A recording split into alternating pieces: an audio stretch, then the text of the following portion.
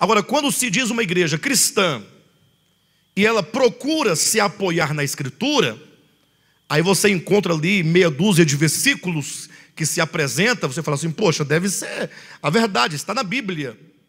O problema é que uh, nem todas as doutrinas pregadas estão na Bíblia, elas são forjadas, humanamente falando, na maioria das vezes. Por isso que houve a reforma protestante para trazer de volta algumas verdades bíblicas. Entretanto, a própria reforma, ou que seja, as igrejas reformadas, trouxeram consigo muitas coisas do catolicismo, tais como ah, o culto sagrado lá, a Santa Missa, aqui o Santo Culto, ah, e outras coisas mais, como alguns ritos que eles praticam também. Mas quando veio, então, depois, por volta do século XIX, para o século XX, os movimentos uh, carismáticos, no caso o movimento pentecostal, ele nasce de uma linhagem e de uma compreensão que se estabelece em dois pilares que são para eles fundamentais. O primeiro pilar é a, é a, digamos, seria a manifestação do Espírito Santo por meio dos dons.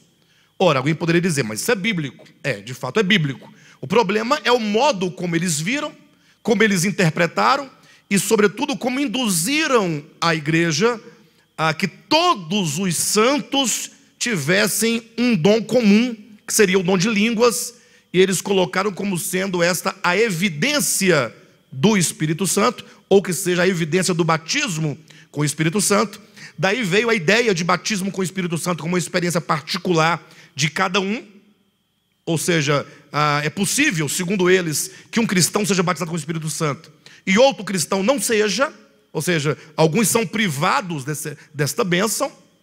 As razões que eles justificam são várias, mas há toda uma dificuldade de compreensão sobre os dons. Mas o segundo pilar, e é esse a que eu quero me referir, que é o mais importante, é a ideia dos usos e costumes. Como eles interpretaram a vida cristã? Eles estabeleceram um tanto de regras e um tanto de normas, a que eles chamam de doutrina.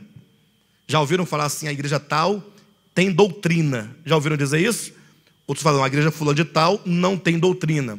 O que eles chamam de doutrina seriam os usos e costumes.